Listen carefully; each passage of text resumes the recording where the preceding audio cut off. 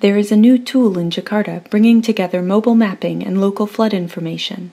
This community flood map is available anywhere, alerting you to water impasses in real time to help you navigate the city. We know that the citizens of Jakarta have the best information on flooding conditions. You are already tweeting each other, helping friends and family avoid hazards around the city.